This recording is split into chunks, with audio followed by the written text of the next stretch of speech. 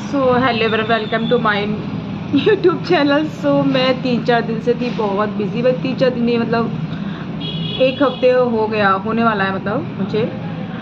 तो क्या क्यों बिज़ी थी मैं? तो मैं, ये मैं दिखाती हूँ। आप मेरे पीछे देख रहे होंगे कि मैंने अपना पार्लर शिफ्ट कर लिया है बाय रोड की नज़दीक है है ना?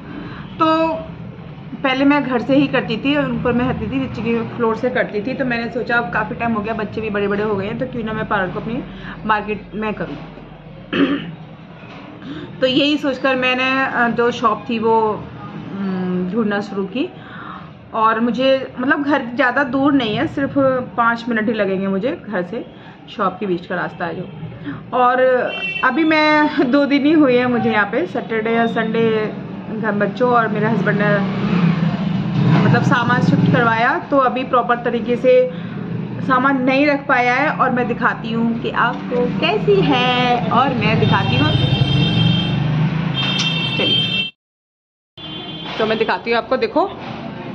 ये आप देख रहे हो मेरा पूरा तो अभी क्या है आ, गेट के लिए ऑर्डर दे रखा है हमने। दो कल कल परसों में लग जाएगा गेट मेरे पास। तो ये जो ये मैंने लाइट जला रखी है।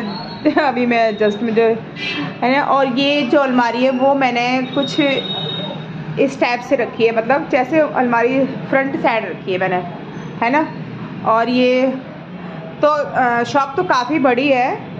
यहाँ वहाँ मेरा सामान ज़्यादा लग रहा था। यहाँ पर जैसे अभी मैं कर रही हूँ।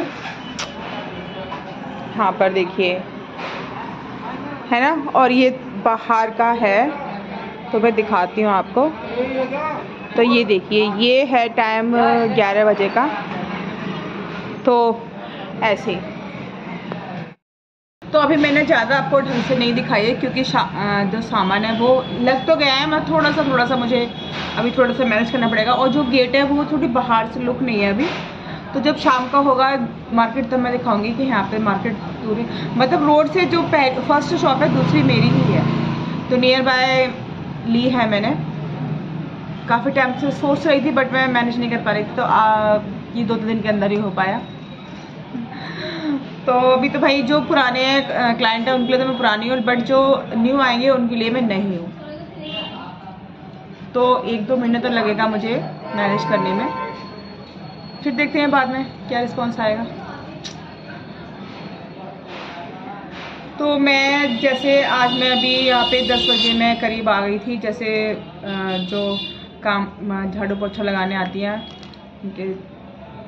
तो घर का सारा निपटा के मैं घर में सारा मतलब कपड़े वपड़े सब घर का निपटा कर तब आई हूँ मैं और अंबिका का स्कूल भी है नज़दीक है यहाँ पे तो वहाँ से मैं उसके लिए उसे लेके और मैं लंच लेकर आई हूँ उसके लिए। जब उसको ट्यूशन वाली जैसे वो नीचे पढ़ती थी तो ट्यूशन वाली को यहाँ पढ़ाने आएगी। तो तभी थोड़ा सा मैं घर चली जाऊँगी, क्योंकि अमिता का जो बड़ा भाई है वो उसके एग्ज़ाम है तो वो अभी घर पे ही है है ना? और ये देखिए, ये वही ब्रश है जो मैंने मंगाया था, मैं आपको दिखाई नहीं पाई, फिर शॉप में लग गई वो। तो इसको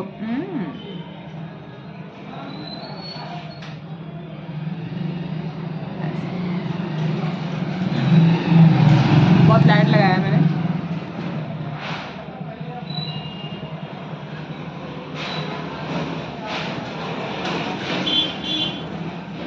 तो घर, जो मेरे घर झाड़ू पोछा लगाने आती है, वो दस बजे आती है तो मैं यहाँ पे मतलब लगभग साढ़े दस साल के आसपास आ गई थी मैं तो मैंने सोचा भाई, क्यों ना आपको भी बताया जाए।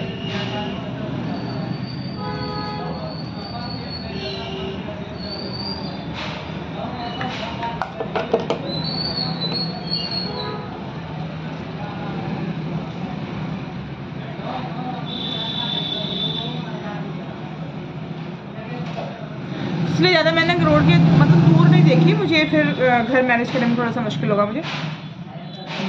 पाँच में से मैंने कहा पाँच ही मिनट में, ज़्यादा नहीं है। तो यहाँ से मैं पास में ही मतलब मुश्किल ही होगी मुझे ज़्यादा।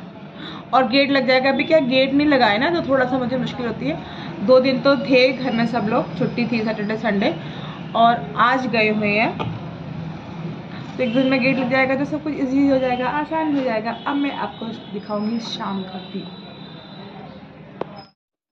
तो ये दिखा रही हूँ मैं आपको मार्केट जहाँ पर मैंने शॉप ली है तो मार्केट देख सकते हो आपको यहीं पे लेके मुझे चाहिए था जैसे मैंने किया है। मिलती है आपसे